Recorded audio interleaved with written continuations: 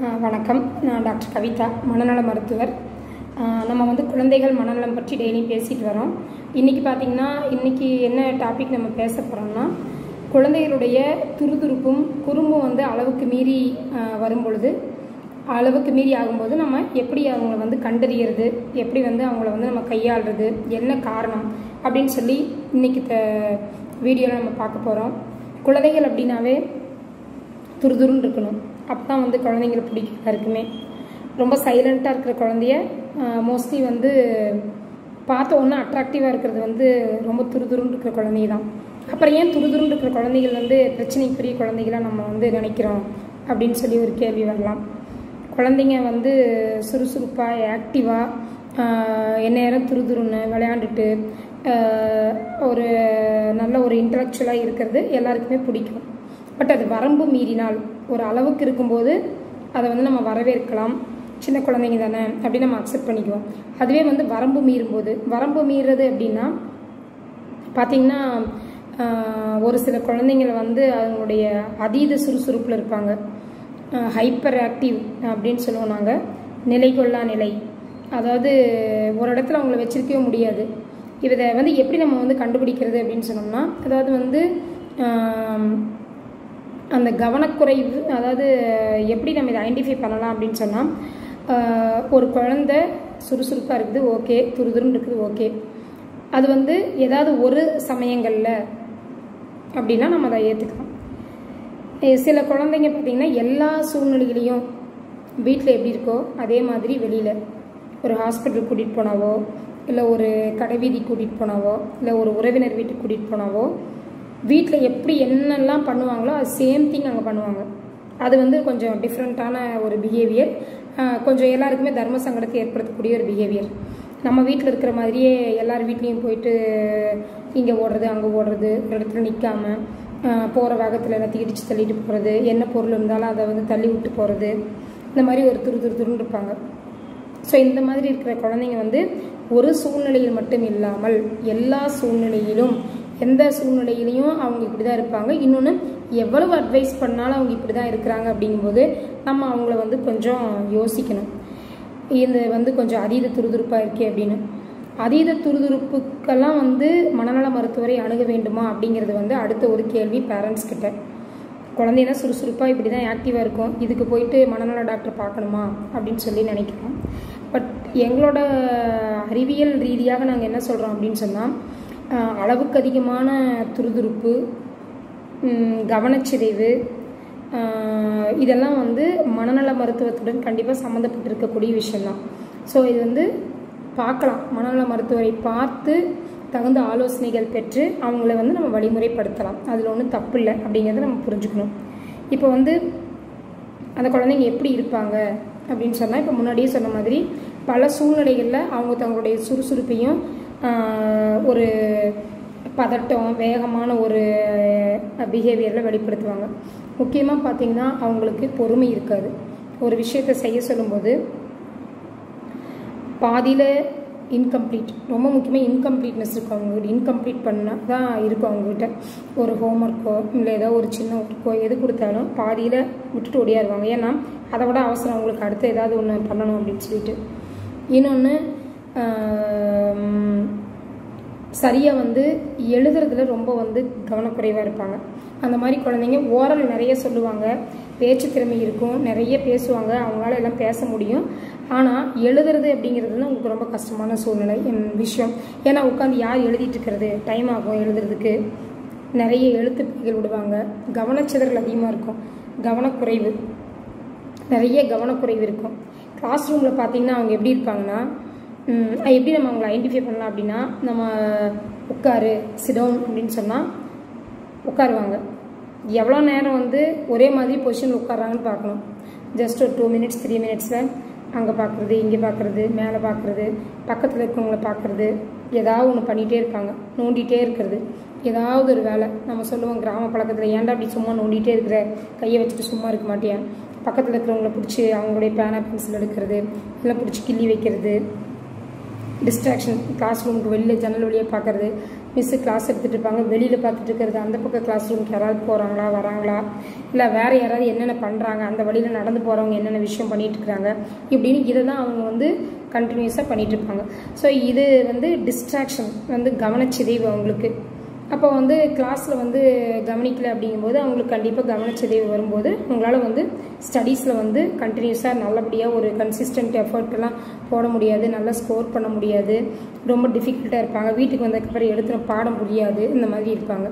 So இது ஒன்று இன்னொன்று வந்து விளையாடுற இடத்துக்கு போனாலும் அங்கே வந்து பசங்க கூட வந்து இவங்களால வந்து கண்டினியூஸாக ஒரு எஃபர்ட் போட்டு ஒரு விளையாட்டில் விளையாட முடியாது. அங்கே இவங்க ஏதாவது இப்போ இவங்களுக்கு ஒரு இவங்களால கண்டினியூ பண்ண முடியல அப்படின்னு சூழ்நிலை வரும்போது உடனே என்ன பண்ணுவாங்க? பார்த்தீங்கன்னா ஒரு சில குழந்தைங்க அந்த இதெல்லாம் போட்டு களைச்சி வைக்கும். விளையாண்டுட்டு இருப்பாங்க. திடீர்னு இவங்களுக்கு பிடிக்கல அப்படின்னா இல்லை கோவம் வருது அப்படின்னா தூக்கி போட்டு இது வந்து இது ஃபஸ்ட்லேருந்து ஆரம்பிக்கலாம். முதல்ல இந்த ஆட்டத்தை ஆரம்பி அப்படிம்பாங்க. போட்டு களைச்சி வைக்கிறது. இல்லை அந்த கேமுக்கு ஓவர் சொல்லிட்டு ஓடி வர்றது. இல்லைன்னா அங்கே இருக்கிறவங்கள ப்ளேம் பண்ணுறது இந்த மாதிரி வந்து அறகுறையாக அந்த விளையாட்டுலேருந்து வந்துடுவாங்க இல்லைன்னா அங்கே இருக்கிறவங்க மேலே ஏதாவது ப்ளேம் பண்ணுவாங்க. அவங்கக்கிட்ட ஏதாவது ஒரு குவாரல் பண்ணிட்டு வந்துடுவாங்க ஸோ இது நிறைய நம்ம கம்ப்ளைண்ட்ஸ் வரும். ஸ்கூல்லேருந்து கம்ப்ளைண்ட்ஸ் வரும். பக்கத்து வீட்டிலேருந்து கம்ப்ளைண்ட்ஸ் வரும். அதே மாதிரி கிரவுண்டில் விளையாடுற இடத்துலேருந்து இப்படி கம்ப்ளைண்ட்ஸ் வரும். ஸோ இந்த மாதிரி குழந்தைகளை வந்து நம்ம ஒரு ஃபஸ்ட் ஸ்டாண்டர்ட் செகண்ட் ஸ்டாண்டர்ட் போடும்போதே ஸ்கூல் போய் ஜாயின் பண்ணி ஒரு ஃபஸ்ட் ஸ்டாண்டர்ட் செகண்ட் ஸ்டாண்டர்ட்லேயே நம்ம வந்து நம்ம குழந்தை வந்து ஒரு அதீத சுறுசுறுப்பாக இருக்குது கூட வந்து கவனச்சதைவோடு இருக்குது. படிப்பில் வந்து கான்சன்ட்ரேஷன் கம்மியாக இருக்குது.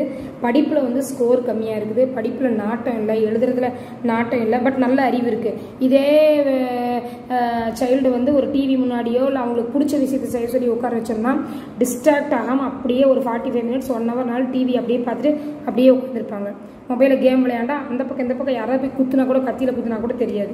ஸோ அவங்களுக்கு வந்து என்னென்னா அந்த டிஸ்ட்ராக்ஷன் வந்து எப்போ வரும்னா படிப்பில் மட்டும்தான் வரும். ஏன்னா படிப்பு அவங்களுக்கு கொஞ்சம் கஷ்டமான ஃபீல் பண்ணுவாங்க அந்த கான்சன்ட்ரேட் பண்ணுறது பட் இந்த விளையாட்டுலாம் அப்படி இருப்பாங்க. இது நம்ம ஏதாவது கேட்டோம்னா அவங்க சொல்கிற பதில் வந்து நம்மளால் கேட்கவே முடியாது காது கொடுத்து. சும்மா அப்படியே ஒரு மொழ நீளத்துக்கு ஒரு பதில் சொல்லுங்கள் இங்கேருந்து ஆரம்பித்து என்ன காரணத்தினால நான் இது செய்யலை அப்படிங்கிறதுக்கு ஒரு ஒரு முளத்துக்கு பதில் சொல்லுவாங்க. அவங்க பேசுகிற பேச்சை உண்மையான நம்பிட்டு நம்ம கேட்டுருக்கிற அளவுக்கு ஊங்கொட்டுற அளவுக்கு பதில் சொல்லுவாங்க. அது ஒரு விஷயம். இந்த மாதிரி இருக்க குழந்தைங்க இப்படி தான் நமக்கு ரிப்ளை பண்ணுவாங்க. ஏன் இதை செய்யலை? ஏன் இதை பாதியில் விட்ட? அப்படிங்கும்போது அவங்களுடைய பதில் வந்து பார்த்தீங்கன்னா பயங்கர எக்ஸ்ட்ராடினரி ஒரு ஜஸ்டிஃபிகேஷனாக இருக்கும். அந்த அளவுக்கு அவங்க செஞ்ச நியாயம்னு சொல்லி கற்பிச்சிட்ருப்பாங்க ஸோ இந்த மாதிரி இருக்கிற குழந்தைங்க. ஸோ இதில் வந்து பார்த்தீங்கன்னா பாய்ஸ் வந்து மோர் காமன்லி அஃபெக்டட் இந்த ஏடிஹெச்டின்னு சொல்லக்கூடிய அதீத சுறுசுறுப்பும் நிலைகொள்ளா தன்மை ப்ளஸ் வந்து கவனச்சிதறல் இருக்கக்கூடிய அந்த விஷயத்தில் வந்து பாய்ஸ் அதிகமாக இருப்பாங்க. கேர்ள்ஸ் பார்த்தீங்கன்னா கவனச்சிதறல் அதிகமாக இருக்கும். பாய்ஸோட கம்பேர் பண்ணும்போது கவனச்சிதறல் மட்டும் உங்களுக்கு அதிகமாக இருக்கும். ஸோ இந்த மாதிரி சூழ்நிலையில் நம்ம வந்து மனநல மருத்துவரை அணுகலாமா? அணுகலாம். அணுகிட்டு அவங்ககிட்ட நம்ம எல்லா குழந்தைகளுக்கும் மெடிசன் போட போகிறதில்ல குழந்தைய நம்ம அசஸ் பண்ணுவோம். குழந்தையுடைய லெவல் எந்த அளவுக்கு இருக்குது அதனுடைய அதீத சுறுசுறுப்பு மட்டும்தான் இருக்கா? இல்லை கவனச்சிதறல் இருக்கா? அளவுக்கு அதிகமான அதீத சுறுசுறுப்பு இருந்து கட்டுப்படுத்தவே முடியாத அளவுக்கு இருந்ததுன்னா அதுக்கு எப்படி ட்ரீட்மெண்ட் கொடுக்கலாம்? இல்லை வந்து ஓரளவுக்கு இருக்கிற குழந்தைக்கு நம்ம வந்து பேரண்ட்ஸ்க்கு தெரப்பி கொடுத்தோ இல்லை குழந்தைக்கு வந்து கொஞ்சம் பிஹேவியர் மாடிஃபிகேஷன் கொடுத்தோ அதை நம்ம சரி பண்ணலாம்னு யோசிக்கலாம். ஸோ இதுக்கு என்ன காரணம்? இது வந்து ஒரு மனநலம் சம்மந்தப்பட்ட விஷயம்தான். குழந்தை காரணமே இல்லாமல் அப்படி நம்ம செய்யுதுன்னு நம்ம நினைக்கக்கூடாது. எஸ் அ பேரண்ட்டாக நீங்கள் அப்படி நினைக்கலாம். பட் ஒரு மனநல மருத்துவராக நாங்கள் வந்து அப்படி நினைக்க முடியாது. ஏன்னா இது அறிவியல் ரீதியான தானாக அவங்க செய்யக்கூடிய விஷயம் இல்லை. இதுக்கெல்லாம் ஒரு அறிவியல் ரீதியான சயின்டிஃபிக்கலி ப்ரூவ்டு ரீசன்ஸ் எல்லாம் வந்து ரொம்ப லாங் ஸ்டாண்டிங் ரிசர்ச்சஸ் வந்து ரிசர்ச் வந்து ஏடிஹெச்டி பொறுத்த வரைக்கும் போயிட்டு இருக்குது. அட்டென்ஷன் டெபிசிட் ஹைப்பராக்டிவிட்டி பொறுத்த வரைக்கும். ரொம்ப முக்கியமான இது ஒரு டாபிக் இது. குழந்தைங்க சைக்காட்ரியில் ஸோ அதில் என்னென்னா அவங்க சொல்கிறது என்னென்னு சொல்கிறாங்கன்னா இது எதுவுமே வந்து தானாக குழந்தைங்க செய்கிறதில்ல அவங்களுடைய மூளை நம்முடைய மூளையில் முன்னாடி பகுதியில் இருக்கக்கூடிய ஃப்ராண்டல் லோப் இப்போ நம்ம வந்து ஃப்ராண்டல் லோப் பெரட்டல் லோப் பின்னாடி ஆக்சிபிட்டல் அப்படின்னு சொல்லிட்டு நம்ம வந்து மூளையில் வந்து இந்த பிரிவுகள் இருக்கும் பிரித்து வச்சுருப்போம். அதில் இந்த முன்னாடி பகுதி வந்து ரொம்ப முக்கியமான பகுதி. இந்த முன்னாடி பகுதி தான் நம்மளுடைய செயல்திறன் அறிவாற்றல் நம்மளுடைய பேச்சு பிஹேவியர் எல்லாத்துக்குமே இந்த முன்னாடி திறன் வந்து ரொம்ப முன்னாடி இருக்கக்கூடிய மூளையோட திறன் முக்கியம். இப்போ இந்த பர்டிகுலர் குழந்தைங்களுக்கு பார்த்தீங்கன்னா இந்த முன்னாடி இருக்கக்கூடிய ஃப்ராண்டல் லோபில் டோப்பமைன் அப்படின்னு சொல்லக்கூடிய நியூரோ டிரான்ஸ்மிட்டர் இது ஒரு வகையான வேதிப்பொருள். மனநலத்துக்கு ரொம்ப ரொம்ப தேவையான ஒரு வேதிப்பொருள். எல்லா விஷயமே மனநலம் சம்மந்தப்பட்ட அனைத்து விஷயங்களுக்கும் டோப்பமைன் ஒரு முக்கியமான வேதிப்பொருள். அது சுரக்கிறதுல வந்து சில மாறுபாடுகள் ஏற்படுறதுனால தான் இந்த மாதிரி குழந்தைங்க இப்படி இருக்காங்கன்னு சொல்லி சொல்கிறாங்க ஸோ அந்த வேதிப்பொருள் சுரப்பு வந்து எதனால் குறைந்திருக்கிறது இல்லை எதனால் மாறுபடுது அப்படிங்கிறதுக்கான ரீசனை இது வரைக்கும் நம்மளுக்கு வந்து தெரியல. ஒரு மரபு ரீதியான பிரச்சனையாக இருக்கலாம். அப்படின்னு சொல்லி சொல்கிறாங்க இல்லை அந்த வேதிப்பொருளை வந்து தள்ளிட்டு வரக்கூடிய புரோட்டீன் என்சைம்ஸு டிரான்ஸ்மிஷன் இப்படி ஏதாவது வந்து இருக்கக்கூடிய வந்து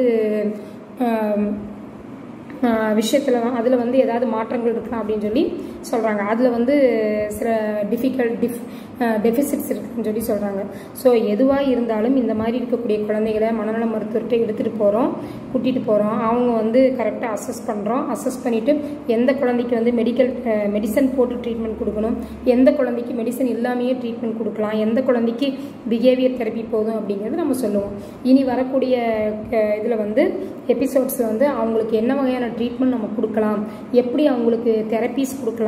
எப்படி அதை நம்ம மாடிஃபை பண்ணலாம்? எப்படி குறைச்சி குழந்தைங்களை நல்லபடியாக கொண்டு வரலான்றதுக்கு அடுத்த வர எபிசோட்ஸில் பார்க்கலாம். தேங்க்யூ